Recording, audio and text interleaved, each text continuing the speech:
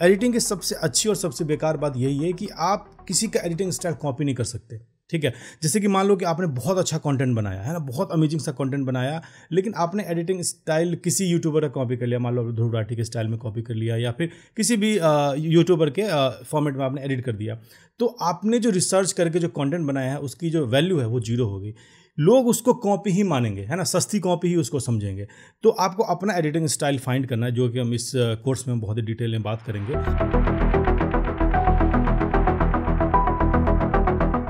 Ordinary में और extra ordinary में जस्ट लिटिल एक्स्ट्रा होता है ना? वो एक्स्ट्रा मैं आपको बता रहा हूँ। तो जो आपकी जो नॉर्मल वीडियो थी, वो ना एक्स्ट्रा ऑर्डिनरी वीडियो में कन्वर्ट हो जाएगी। तो सबसे पहला जो यहाँ पे पॉइंट है, वो है कॉन्ट्रास्ट ऐड करना, ठीक है?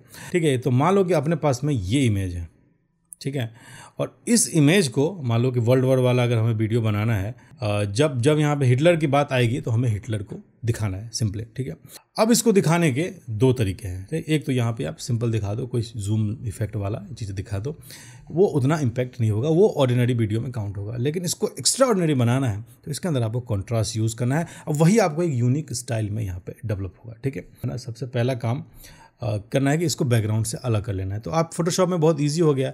जस्ट आपको सिंपली जाना है और सेलेक्ट एंड मास्क पर जाना है और सिंपली यहाँ पर सेलेक्ट सब्जेक्ट करना है। ठीक है तो ये बैकग्राउंड यहाँ पे अलग हो गया और थोड़ा सा इसको फेदर बढ़ा के कॉन्ट्रास्ट को इंक्रीज़ कर दोगे तो ये साइड की लाइन भी यहाँ पे गायब हो जाएगी, है ना? थोड़ा सा और फेदर यहाँ पर आ सकते हैं। तो अगर इससे पहले कि हम एनिमेट करें जस्ट मैं आपको कॉन्ट्रास्ट बता देता हूँ कॉन्ट्रास्ट यहाँ पे होगा कैसे, ठीक है? तो उसके बाद मैं आपको पीछे में, इसके पीछे एक बढ़िया सा बैकग्राउंड लेना है जो कॉन्ट्रास्ट डेवलप करे। तो सॉलिड बैकग्राउंड में गया और फ़िलहाल मैं कोई सा भी ले लेता हूँ, जैसे मैंने ब्लू ले लिया, ठीक है? और ये ये स्टेप से मैंने यहाँ पे डाल दिया, ठीक है? तो ये वो कॉन्ट्रास्ट डेवलप नहीं कर रहा, ये हमें कुछ ना कुछ गड़बड़ लग रहा है यहाँ पे इमेज में और बाकी सारी चीज़ों में कुछ ना कुछ हमें प्रॉब्लम लग रहा है, ठीक? अब यहाँ पे करना क्या है कि जस्ट आपको फिल लेना है और एक बढ़िया सा कॉन्ट्रास्ट ढूंढना है जो जो स्टाइल आप यूज़ करें, वो हमेशा जब भी आप इमेज दिखाओ अपने वीडियो में तो आपको यही कलर पैलेट यूज़ करना ये आप अपने दिमाग में हमेशा रखना ठीक है? तो अब कॉन्ट्रास्ट आप कहाँ ढूंढ सकते हो? कॉन्ट्रास्ट आप गूगल पे भी या फिर पिंटरेस्ट पे भी आप कलर कॉन्ट्रास्ट ढूंढ सकते हो। आपको देखना है कौन सा कॉन्ट्रास्ट आप आप में वो टेंशन क्रिएट कर रहा है बेसिकली यहाँ पे आप टेंशन और यहाँ पे डॉक्यूमेंट्री वाली चीज़ें यहाँ पे डाल रहे हो तो आप कोई सा भी कॉन्ट्रास्ट पिक कर सकते हो जैसे कि ये देखो येलो पे ऊपर ब्लैक एंड वाइट भी यहाँ पे ठीक ठीक लग रहा है है ना और भी चीज़ें आप देख सकते हो कि हाँ आपके ऊपर कौन सा कॉन्ट्रास्ट यहाँ पे ठीक लगेगा है ना जस्ट आपके आपको पसंद आना चाहिए जैसे यहाँ पे देख सकते हो ग्रीन के ऊपर ब्लैक एंड वाइट भी ठीक लग रहा है पिंक के ऊपर भी यहाँ पे ठीक लग रहा है ये यहाँ पे बहुत सारे कॉन्ट्रास्ट वाली चीज़ें यहाँ पे ये देख सकते हो है ना तो यहाँ पे जस्ट आपको कोई सा भी कॉपी करना है है ना और कॉपी करके जस्ट आपको देखना है कि हाँ कौन सा कॉन्ट्रास्ट आप वाले इमेज पे जाएगा। तो सिंपली फोटोशॉप में ट्राई कर लो और फिर उसको आफ्टर इफ़ेक्ट में फाइनल टच यहाँ पे दे सकते हो।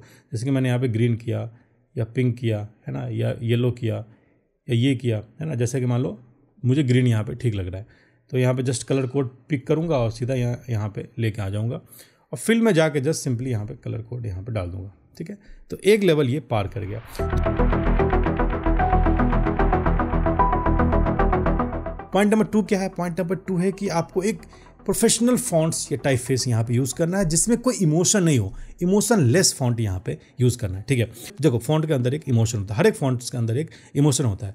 लेकिन सेंसरी फॉन्ट के अंदर कोई इमोशन नहीं होता। जैसे फॉर एग्ज़ाम्पल मैं बताऊँ कि आप कहीं पे गए, वहाँ पे दो बंदा है। एक बंदा हंस रहा है, एक बंदा रो रहा है। तो आप क्या समझोगे? भाई, वहाँ पे हो क्या रहा है? कुछ समझ नहीं आएगा ना? एक बंदा हंस भी रहा है, एक बंदा रो भी रहा है तो कुछ समझ नहीं आया। लेकिन आप कहीं पे गए, यहाँ पे दोनों बंदे रो रहे हैं। है ना? तो आपको समझ आया, कुछ कुछ ना कुछ यहाँ पे बातें हुई है है ना? ये समझ आया। लेकिन आप कहीं पे गए, कोई बंदा बता रहा है कि भाई बहुत बुरी चीज़ होगी और सारे बंदे वहाँ पे रो रहे हैं तो ये ओवर हो गया, समझ लो तो एक बंदा माइक में भी वही चीज़ बता रहा है कि भाई कोई बुरा हो गया, वहाँ पे रो भी रहे तो वो ओवर हो गया, है ना? वो इमोशन ओवर इमोशन हो गया। तो आपको क्या करना है कि अगर अगर आप कोई बता रहे हो, कुछ चीज़ें बता रहे हो तो आप वो इमोशन ऐड कर रहे हो। तो टाइफेज जो यूज़ करते हो आप उसके अंदर इमोशन लेस होना चाहिए, कोई इमोशन नहीं होना चाहिए। जैसे कि फॉर एग्जांपल मैं यहाँ बता रहा हूँ, ठीक है, अब मैंने यहाँ पे सेरी फॉन्ट से मैंने यहाँ पे कुछ लिखा। ठीक है सेरी फॉन्ट से मैंने यहाँ पे लिखा कि पोस्टर वॉर ठीक है, ये जो सेरी फॉन्ट है, ये ऑलरेडी एक इमोशन कन्वे करता है कि हाँ ऑफिशियल हाँ ये सच में पोस्टर वॉर हुआ था। तो आप भी यही बता रहे हो, आपका फॉन्ट भी यही बता रहा है तो वो ना जेनली होगा कभी भी, है ना? तो फॉन्ट्स जो है टाइफेस जो है वो इमोशन लेस होना चाहिए।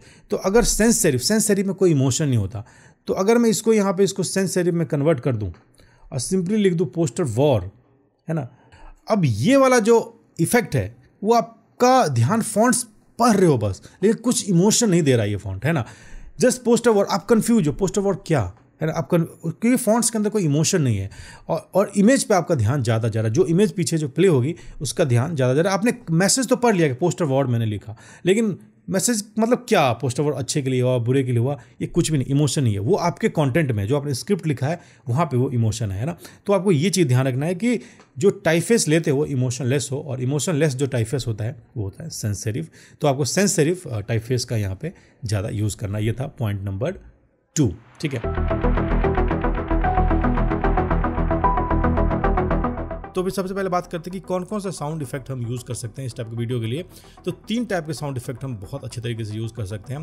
पहला है क्लिक दूसरा है हिट और तीसरा है वूश वूश क्या है कि आपके वीडियो में कुछ भी मूवमेंट हो रहा है है ना? हल्का सा, जैसे कि मान लो, ये भी अगर मूवमेंट हो रहा है तो वहाँ पर आप वहाँ पे आप वूश वाले साउंड इफ़ेक्ट डालोगे, कुछ भी मूव हो रहा है तो वहाँ पे वूश वाला आप मस्त तरीके से पेयर हो जाएगा। जैसे मैंने वूश खोला यहाँ पे, और मान लो कि मैंने यहाँ पे एक वूश वाला इफ़ेक्ट जस्ट मैंने सिंपल यहाँ पे डाल दिया, ठीक है? यहाँ पे मैंने इसको लगा दिया।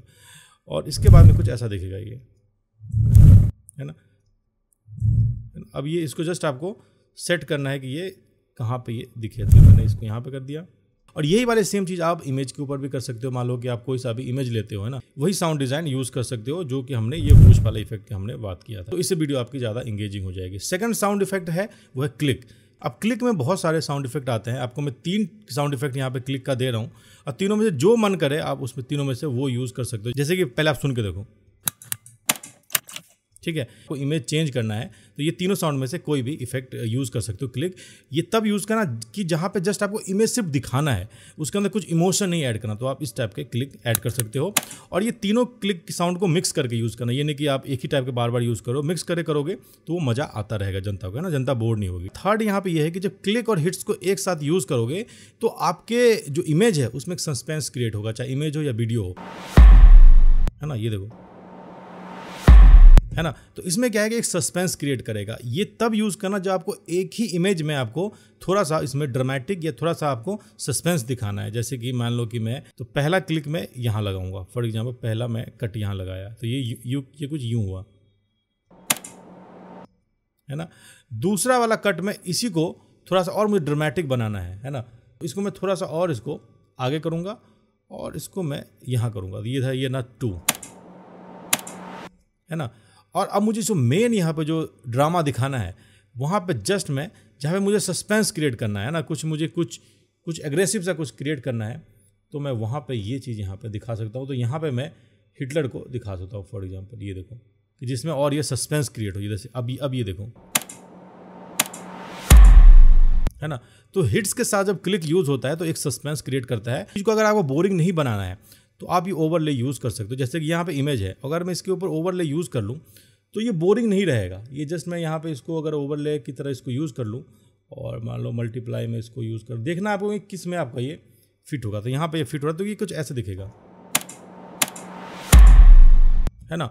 और इसके अंदर अगर कुछ आप मूवमेंट डालना चाहते हो ना सिंपल सा आप इसको अगर नेस्ट कर दो सिंपल यहाँ पे, है ना? जहाँ भी आप एडिट करते हो। और इसके अंदर जस्ट आपको एक थोड़ा सा मूवमेंट डालना है कि आपने यहाँ से पकड़ा। और इसको मान लो स्केल ही मुझे करना है। थोड़ा सा जैसे मैंने इसको स्केल कर दिया। और ये कुछ ऐसा यहाँ पे, कुछ यहाँ पे बन गया। तो कुछ ये यूँ दिखेगा आपको। और ये स्टोरी टेलिंग वीडियो एडिटिंग के बारे में बहुत ही डिटेल में आपको सीखना है ना।